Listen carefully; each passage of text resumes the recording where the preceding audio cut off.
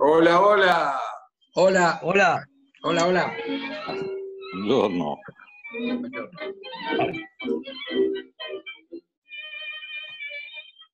Buen día Argentina, buongiorno Italia. Siamo di nuovo, ciao a tutti. Estamos de nuevo en, este, en esta sala, en este saloncito, relajados, charlando de tango.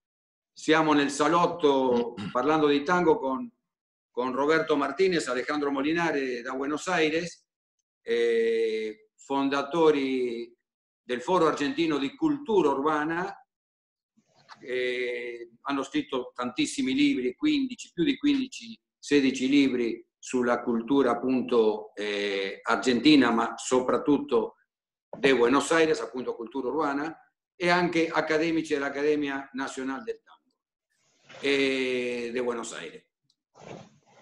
No lo traduzco en castellano porque los No, argentinos entienden perfectamente. Sí, sí, sí. Eh, Tenemos, tenemos con nosotros Sandro Cané, gran milonguero de la ciudad donde yo estoy viviendo, que es Bolonia, eh, maestro de tango, eh, músico, pintor, y, y me paro acá, stringe. pero con una sensibilidad y un amor increíble eh, para, para nuestra cultura y para el tango y para el tango. Así que bueno, benvenuti tutti. Acá estamos, en, en pleno periodo de, de- de COVID, pero bueno, seguimos adelante. bien. Eh, ¿Ustedes tenían interés particular en- Per avere un'orchestra di tango e soltanto registrare, non per apparire in pubblico. Hay una primera experiencia del, eh, de este sello grabador que fue el trío Select, que Quindi, quindi la prima esperienza di quel marchio è stato il trio Select, que bajo, bajo, bajo la Victor, bajo La el- Victor, la- sí, sí, la la casa Victor, bajo el- que grabaron en Estados Unidos, era un trío conformado por Enrique Delfino, Osvaldo Fresedo y Tito Rocatagliata, Delfino, Enrique Delfino, Osvaldo Fresedo e Tito Rocca Tagliata componevano questo trio e si registravano negli Stati Uniti di Nord America. exacto, que en En realidad, 1919. 1919, que en realidad a veces- 1919. a veces eh, se incrementaba ese trío con un par de músicos de Estados Unidos, pero bueno, esa fue una pequeña experiencia. Pero la, Sí. la orquesta típica Víctor, la orquesta, se crea en 1925 y su primera grabación es del 9 de noviembre de ese año. Quindi nel 1925 si crea l'orchestra tipica Victor e la- il suo primo registro, la sua prima incisione è stato il 9 di Noviembre, 9 de noviembre. 9, il 9 di novembre del 25. Con la orquesta Víctor o como desprendimientos de la Víctor, siempre por razones comerciales, o sea, para grabar y vender discos, no para actuar públicamente, Sì, era soltanto per registrare e vendere i dischi, ripetiamo, non per fare attuazioni pubbliche. se crean otras orquestas dentro del sello. La orquesta Víctor Popular, la orquesta típica Los Provincianos, Si creano no. altre orchestre dentro a- al marchio Victor. que, L'orchestra tipica popular, l'orchestra Los Provincianos, que dirigió eh, este, mm, eh, Ma- Siria Cortiz, la Siria orquesta, Cortís, perdón, sí. la sí, orquesta sí. radio, la orquesta radio Víctor Argentina, la orquesta Argentina Víctor, el trío. Víctor, del que ya hablamos en algún momento, el trío que estaba conformado Sì, por Sele, sì. Bardaro, Gino Bardaro, Oscar Alemán y, y Gastón Bueno. El cuarteto Ah, il Víctor, trio Victor che non c'entra col trio Sele, ho capito, un altro. Quindi c'erano praticamente, non era solo l'orchestra tipica Victor, eh, il marchio Victor creò l'orchestra tipica Victor, ma creò anche altre formazioni. bueno, E después- 5 o 6 forma, cinco o 6 praticamente, un'enormità di formazioni. Sí, sí. Este, bueno, esa orquesta, la Víctor propiamente dicha, el corazón de, de esa, eh, de esa Sí. creación fue la orquesta típica Víctor, que se crea en 1925 y dura hasta 1944. Ahora, ¿quiénes formaban L'orchestra tipica Victor si crea nel 25 e dura fino al 44 ed era il cuore appunto del marchio Victor, anche se c'erano altre, che ne so, 5 o 6 formazioni ancora sotto quel marchio, ripetiamo. ¿Quiénes pasaron por la Victor? Esto nos puede decir Alejandro. Ok.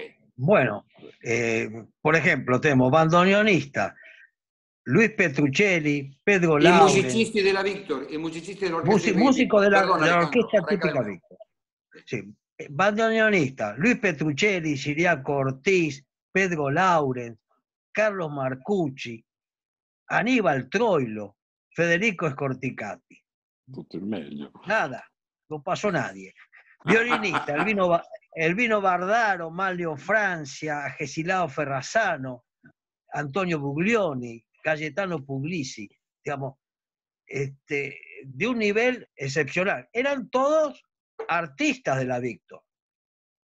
Todos Erano, trabajaban en la Victor. ¿no? lavoravano tutti nella Victor, erano artisti della Victor e di un livello eccezionale, erano musicisti formati. Lo que pasa que aparte eh, ellos tenían sus propias orquestas que, que- que- que grababan para la Víctor y a su vez trabajaban en esta gran orquesta de, de- de- de la empresa, digamos. ¿no? Inoltre, decir- inoltre lavoravano, Ah. después pongo un tango che si chiama Gatto, in onore, Sì. eh, no, dopo metto due tanghi, eh, Fumando e Spero y Sì, Gatto, Gato. in onore a Sandro, Sopra il puccio. Dai, sobre il bueno, puccio. con- Con trabajo, Perdón. Sí, trabajo Humberto Costanzo, Nerón Ferrazano, E don, detto... Ah, ah, seguí con. Gorresi. Sí, Y los directores, tuvo tres directores. El primero, Adolfo Carabelli. Adolfo Carabelli era el director artístico de la Víctor, que ahora vamos a hablar de él. Quindi ha avuto tre direttori. Il primo è stato Adolfo Carabelli, che fu il direttore artistico dell'orchestra tipica. creo que llega hasta el 41, 42, no, por ahí, ¿no? Más o menos. no hasta el 38 nada más. Hasta el Va. 38. Después viene 38. Federico Scorticati, Quindi fino al 38 Carabelli, Adolfo Carabelli, direttore artistico della tipica Victor, dal 25 no, al era 38. director artístico, además era director artístico de la Víctor. O sea, de, de Ah, toda la empresa. De- de o sea, la- era el tipo que, que manejaba la parte artística, porque era un músico de, de- de, digamos, muy formado. Cioè era il direttore dell'orchestra, ma il direttore artistico della casa Victor De, è stato casa. Adolfo Carabelli. Molto, molto importante, perché era un Después lo- musicista formatissimo. claro. Después Quindi lo- era, lo- era parola sacra quello che diceva lui. claro. Del Después lo re- 25 al 38. Claro, 38 Porque, la- la- porque, perdón, la Víctor no solamente grababa tangos, la, la, la RCA Víctor. Entonces tenía un director artístico que era un músico clásico, que conocía de, de- de- de- de Certo, certo, certo. Sottolinea, lo- sottolinea Molinari che, perché poi l'RCA Victor non, non registrava solo tanghi, registrava anche altre musiche e Todo. quindi aveva bisogno di un direttore artistico che, che fosse eh, un grandissimo musicista. De- después lo reemplaza Federico Scorticati y eh, hasta el 43, creo, por ahí anda, y después 43, viene, eh, el- cierra este, Mario Murano, ¿era? no? Maurano. Maurano. Sì. Scorticati, Federico Scorticati dal 38 al 43, ha fatto il direttore della, della tipica Victor e poi l'ultimo anno un tal Murano. Maurano. Maurano. Maurano, Maurano. Maurano. Mauro. Vale. Sì, Maurano, sì. Bueno, Ahora, y ¿quién, cantores nos quién fue faltan. Ah, perdón, ¿Cómo? nos faltan cantores. Ci mancano Ah, los cantores. Oh, Cantores. cantores. Carlos Lafuente, Roberto Díaz, Alberto Gómez, Ernesto Famá, Teófilo Ibáñez, Charlo, eh, Ángel Vargas, Angelito Vargas, sì. Samuel Aguayo, eh, José Bor, Héctor Pacheco, Francisco Fiorentino, en fin. Y, y quedan todavía nombres, ¿no? Sì, poi rimangono anche degli altri nomi, insomma, però Allora- abbiamo già capito il livello anche dei cantanti. Bien, entonces ahora me parece importante para hacerlos hablar a ustedes, que, porque tampoco es cuestión de que hablemos solo nosotros. Ci Che vuol far un- parlare anche noi, eh, eh, Roberto e Alejandro. E io faccio parlare Sandro dopo, Claro. così non... Entonces, este, queremos referirnos a Adolfo Carabelli. Adolfo Carabelli era una persona que nace en, en el suburbio de Buenos Aires, en San Fernando, y desde muy chico estudia música. Estudia música. Cioè uno che nasce nei in- in un- nella periferia di Buenos Aires, a San Fernando, e da molto piccolo che studia música. Eh, después, este hombre, cuando llega a un nivel muy, muy grande de conocimiento, le dicen que ya no había, no había más elementos para transmitirle, más conocimientos. Y cuando tenía 15 años, 15, 16 años, lo, le indican que para perfeccionar sus estudios musicales debía ir a Italia. Quindi lui era un prodigio studiando e quando arriva ai 15 anni dice adesso per perfezionare ulteriormente i tuoi studi eh, musicali ti mandiamo a Italia. ¿A dónde? ¿A dónde? Particularmente le dicen, tenés que ir a Bolonia, donde hay un instituto en ese momento, un liceo de música, que se llama, o se llamaba, no sé si existe o no existe, esto es una cuestión Se que llama, se contarán llama. ustedes, Sì. Giovanni Battista Martini, es así. Sì. Bien, ahí estudió, ahí estudiò Adolfo Carabelli, hasta recibirse de compositor. O sea, no es solo que fue, él re- se recibió, se graduó en ese instituto. Em, Quindi nel- nell'istituto Martini, nel liceo Martini, forse si chiamava allora, eh, lui ehm, finì gli studi, lui Sì. finì gli studi di compositore, di composizione, e quindi è stato parecchi anni, hasta Desde- 1914, que es fino al cuando, 1904, cuando estalla la guerra. sì, quando, ci- quando esplode la prima guerra mondiale e lui torna a Buenos Aires, ma aveva finito gli studi. Arrivò, a che, a che anno llegò? Al 1908 más o menos. Eh, ma- ma- sí, sí, eh, contá Mi- 4 o 5 años. Sí, ma- 1908-1909 llega a... Mille- no, mille- ne- ne- nell'8 nel 9 arrivò a Bologna ed è stato qua anni Probablemente, probablemente, probablemente, si no hubiera sido por la guerra, él hubiera seguido su carrera de músico clásico en Europa, en Italia. Questo non si sa, è si bella questa, questa Bueno, annotazione. Dice, allora, magari vuelve- se no... Vuelve a Buenos Aires por la guerra, se enamora del jazz, porque no era músico de tango, se enamora del jazz, crea una orquesta de jazz que, que incluso ya- graba, que se llama la River Jazz Band, y hasta que lo contrata, como decía Alejandro, la Víctor, a este músico. Lo Quindi contrata magari se non esplodeva la prima guerra mondiale poteva rimanere in Italia, in Europa, continuando, essendo un, un- un compositore ehm, eh, di musica classica. Claro, eh, y crea esta orquesta, o- perdón, Pará, Sí. vuelve a Buenos Aires e si dedica al jazz. al jazz. Quiere decir que tenía un poco un alma popolare là Eh, dentro. Pues probablemente, pero lo que vale es que esta orquesta típica Víctor, durante toda su, su- su historia, desde 1925 hasta que terminó, y, y termina, que es una orquesta que se crea por razones comerciales, y termina cuando ya había tantas orquestas que comercialmente no tenía sentido, y ahí la cierran. Ok. Pero todos esos años fue una orquesta de tango que inclusive no fue influenciada por los cambios como sufrieron Fresedo, De Caro, que hicieron tango fantasía. La orquesta siempre fue de tango. Ahora, lo que importa saber, y esto es lo que les toca a ustedes, es qué era ese instituto, porque, cómo se formó este hombre. Dice, ci chiede, adesso dobbiamo rispondere noi, quindi devi rispondere te Sandro, come questo istituto, eh, che cos'era, eh, come sarà formato quell'uomo, eh, Eh, eh, cioè, già- già chi, chi ha è un- partecipato poi a questo istituto, perché è un istituto molto importante. Eso es la academia. valía la pena ir a Conservatorio Italia. Martini. Actualmente, actualmente es el Conservatorio eh, Gian Battista Martini.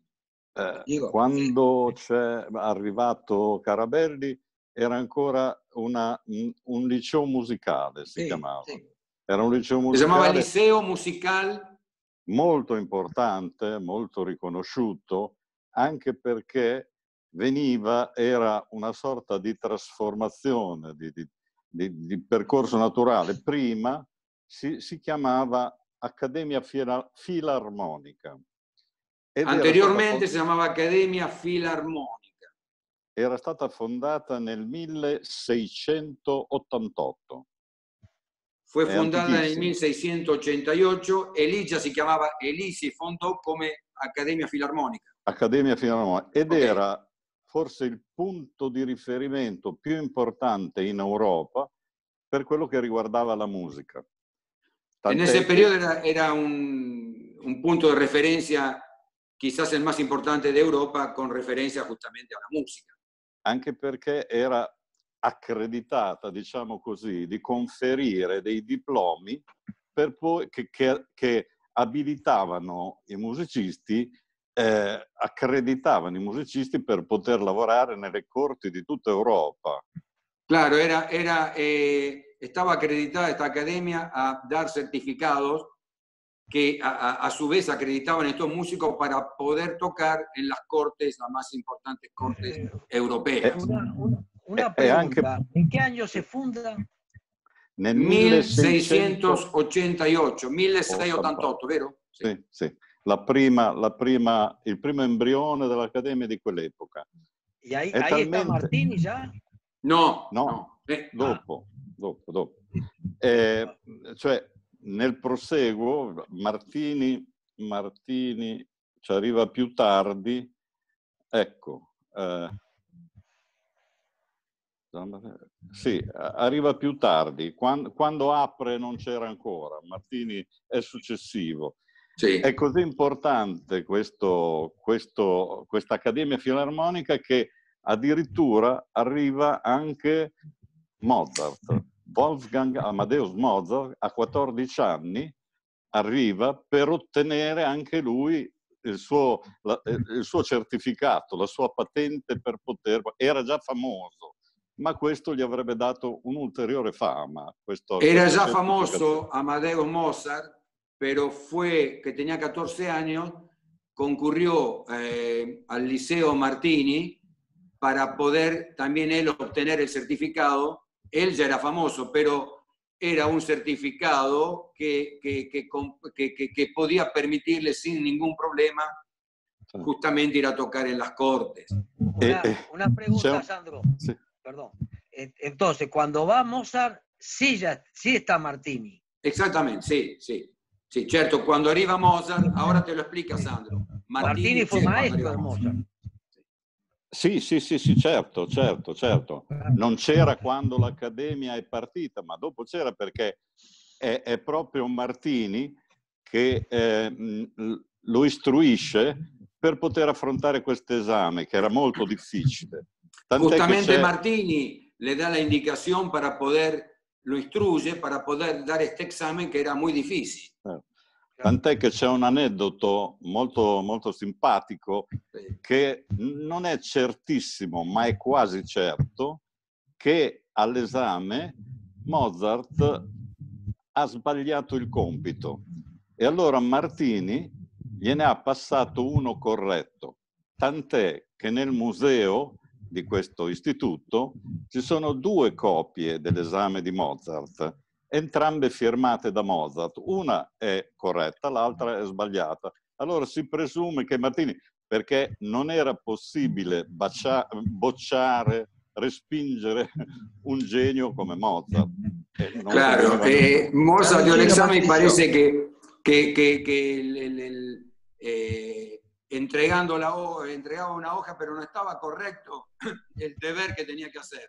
Martínez se lo corrige y, entonces pasa porque le da, lo, ayuda.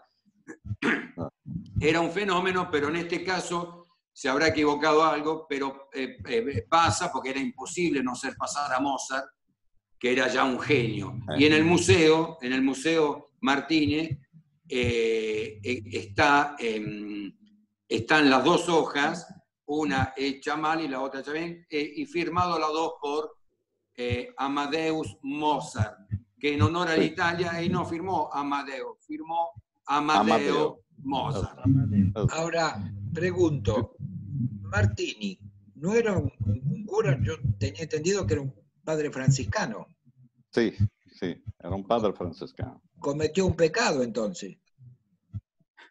Come? Dice, essendo, un essendo un prete francescano, ha commesso un peccato.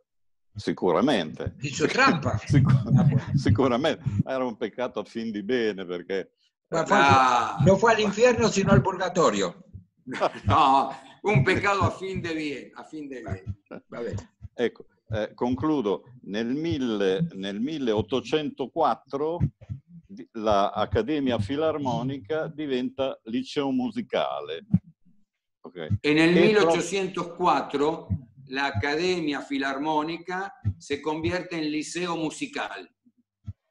E per poi diventare l'attuale conservatorio nell'immediato dopoguerra, nel 1946. Después de la Segunda Guerra Mundial se convierte en conservatorio, en el actual conservatorio, y en homenaje a, a Martini si chiama Conservatorio Martinico.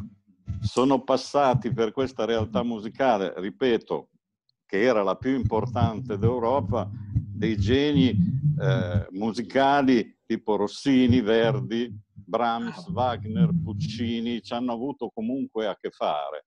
È una delle tante straordinarie realtà di Bologna, come quella che ad esempio aveva la prima università al mondo, è stata creata a Bologna nel 1088, pieno medioevo, una roba nel più buio medioevo.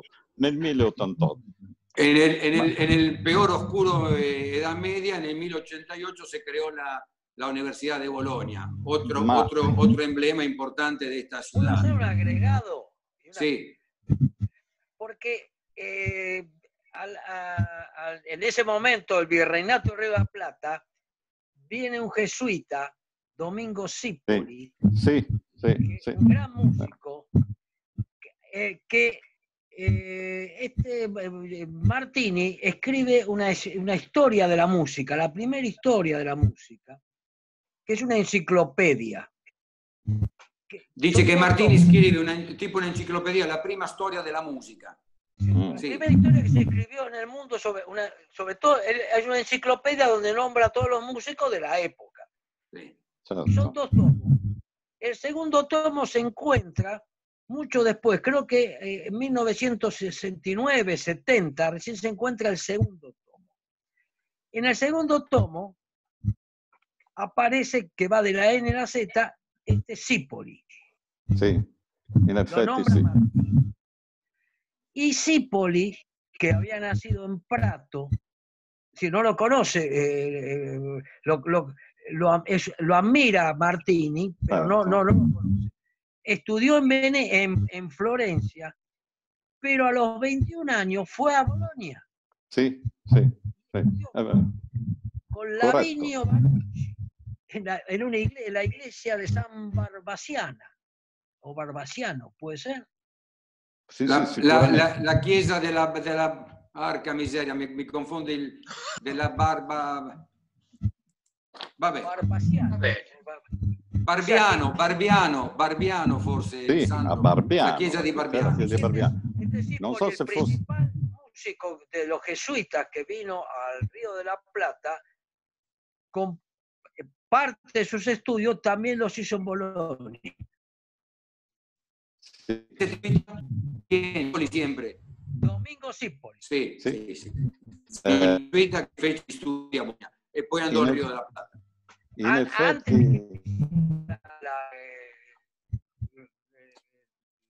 eh, la mia esta, él estudió en otro lado, pero en Bologna. Sì, sì, sì, sì, sì, sì No, no, è stato, è stato all'Accademia, che poi era diventato no, musicale, poi c'è di Zibbi, non ha studiato con Martini, non ha studiato, ha studiato con un altro maestro e poi è partito perché era anche missionario, oltre che gesuita, missionario, è partito per il Sud America ed è arrivato, è arrivato, um, è a, arrivato a Buenos Aires nel 1717. Sì, sì. Per poi trasferirsi a Cordova, dove è morto dopo pochi anni, sì. eh, nel 1726. Eh, sí, porque ahí en, ahí en, Córdoba hay un centro jesuita muy importante. Claro, donde, donde, donde funcionó bueno. la, la, universidad. Ahora, pero, pero, quiero decir una cosa, también sí. estudió en el, en, el, en el Conservatorio Martini mi querido amigo Rosarino, que, que, me va a escuchar después porque no, no ve la hora que, que lo diga. Bueno, mi querido amigo Rosarino, guitarrista clásico Gustavo D'Angelo, que él se recibió en un conservatorio en Rosario, vino a Bolonia, le tomaron un examen y bueno, solamente, no hizo 10 años, pero hizo 3 años, eh, porque ya estaba muy avanzado y, y, bueno, también él se recibió en, eh, en, el conservatorio, en el conservatorio Martini. Así que si lo ven por YouTube, Gustavo D'Angelo, querido amigo rosarino, Rosario hizo un poco, hizo un poco lo que hizo Adolfo Carabelli. ¿Qué? Es Rosarigacino, Patricio. Porque ¿Cómo? Los, Rosarigacino. Los, los, rosarinos tienen un... Se posso, se posso sì, rubarvi un altro Sandro, minuto. Sì. Un altro minuto, però in un altro ambito vorrei citare un'altra cosa, forse la più importante in assoluto per cui Bologna è così importante. È nel, mille, nel 1200, vedete qui adesso mi sfugge. Quiere citar una cosa por la cual este, ecco. Bologna es, eh, è molto importante, a parte lo che dijimos. E che ha in qualche modo a che fare col tango e dopo vi spiego perché. Nel 1256, per la prima volta nel mondo, il comune di Bologna emise un editto con cui definitivamente faceva finire la schiavitù. Qualsiasi, qualsiasi forma di schiavitù e di servitù era bandita da Bologna.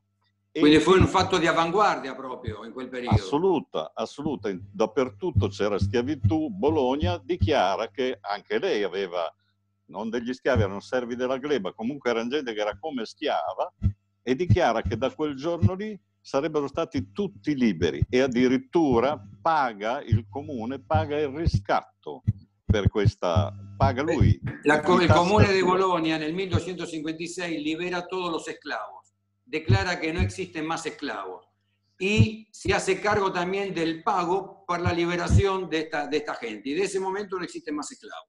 A la vanguardia en esa época. Me estoy dando cuenta que, que Sandro es boloñés, ¿no? Sí, Sandro Bolognese, sí. sí, sí. No, no, se nota. no se nota que está orgulloso. Está orgulloso, está orgulloso y, y, estoy de acuerdo con él. Por estas sí, cosas sí. hay que estar Sandro, orgulloso. Una, una pregunta. La, las, las, demás, digamos, eh, regiones de Italia, ¿tardaron mucho en hacer eso? ¿En, en abolir la esclavitud? Non ho capito la domanda. Le altre regioni d'Italia, le altre posti, regioni d'Italia hanno hanno, no. hanno tardato in, in, prendere quella decisione? No, nessuno l'ha presa per, per centinaia d'anni, cioè ah. è rimasta solo Bologna. È per quello che dico che ha un'influenza decisa sul tango, perché se tutti avessero adottato la decisione illuminata di Bologna, probabilmente, anzi sicuramente, non ci sarebbero stati gli schiavi che arrivano a Buenos Aires e forse il tango sarebbe stato diverso. Gli schiavi negri, no? senza di loro, forse il tango sarebbe stato diverso. Claro, claro. Sí. Es la única ciudad que tomó eso por al, algunos siglos, ningún, ninguna otra ciudad, ninguna otra región tomó esa decisión de liberar la, la esclavitud. Entonces dice, si por ahí hubiesen tomado otra, otro, otro, otras regiones de Italia, otras naciones, por ahí también el cambio, el, el tango hubiese cambiado porque eh, la situazione de los negros hubiese sido differente. Concludo, concludo. Sì. Questa cosa, questo editto, questa legge si chiama Liber Paradisus, Lo dico per i bolognesi perché forse magari qualcuno distratto non lo sa.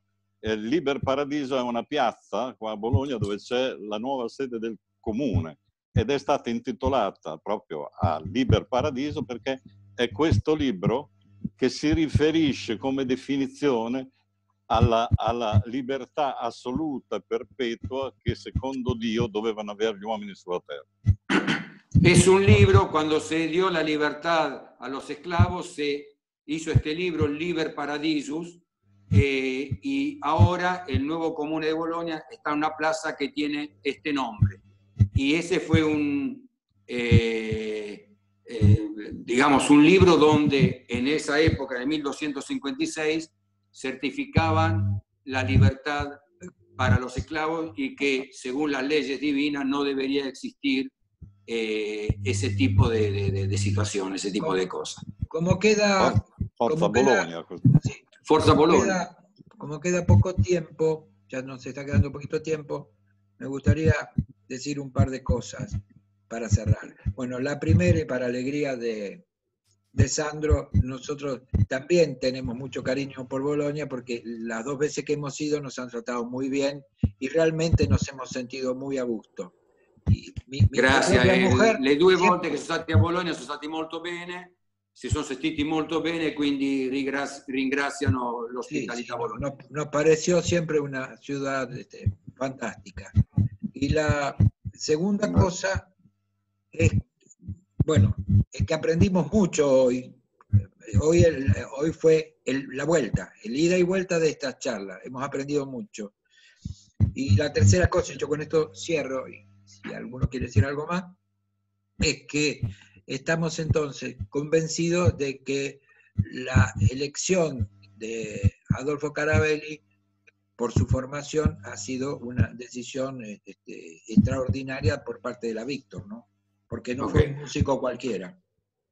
Dice, hanno imparato molte cose, oggi non sono stati loro a, a, a, a farci una lezione, bensì sei stato te Sandro il no, ma per tutte queste cose e quindi e poi in definitiva è stata una bella eh, elezione quella di venire, adesso io mi incasino quando traduco, eh, una, una bella scelta quella di Caravelli, o chi per lui che mandarlo a Bologna, dopo è stato un ottimo direttore dell'orchestra Victor e, e, e anche direttore artistico della, della casa dell'RCA Victor. Como para hacerlo más democrático, voy a un grande del tango como fue Enrique Delfino, y decir, se eh, vino, fue a estudiar a Italia, pero no a Bolonia, sino a Turín. Anche Delfino, Enrique Delfino, un grande pianista, un grande compositore, è andato a studiare non a Bologna ma a Torino. Però bueno, era bueno lo mismo. Para repartir un poco. Per, per, per, bilanciare un po' e a Torino gli hanno, hanno insegnato molto bene. Nos queda, nos queda un minutito, este, nos queda un minutito sí. y si te parece, si están de acuerdo, ¿por qué no cerramos con la orquesta de Carabelli, porque Carabelli tuvo su propia orquesta en las mismas es lo que quería ¿Puedo decir una cosa yo? Sí, sí. Carabelli, parallelamente all'orchestra tipica Vittor, ha avuto la sua orchestra, l'orchestra tipica Carabelli, e, e, chiudiamo con questo brano bellissimo cantato da Alberto Gomez che si chiama Alma, Bien. proprio con tutta l'anima, con toda el alma, hicimos esta charla que tenía que durar 15 minutos y duró media hora, pero bueno, espero che, che los oyentes le, les guste. Lo trovate sul canale YouTube, FAC Urbana YouTube, clicando in video. Lo encuentran esta charla en FAC Urbana YouTube, péguenle a video y van a encontrar esta charla típica Víctor Carabelli, Bologna. Es decir, que Carabelli Sí, dale. Dale. Terminó siendo músico de tango. Carabelli, ¿Cómo, cómo? Carabelli, que era un músico clásico, que le gustó el jazz, terminó siendo músico de tango. Eso es, es lo grande del tango, cómo te atrapa el tango. Come il tango ti penetra, ti prende, ti dà questo virus. Carabelli era un musicista classico, passa per il jazz e poi tutta la sua vita la dedica al tango in maniera magistrale. Adiós. Ciao, ciao. Ciao, arrivederci.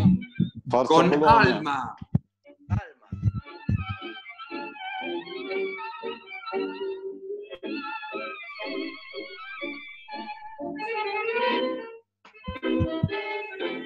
Hay que esperar un poco y después vamos a milonguear también.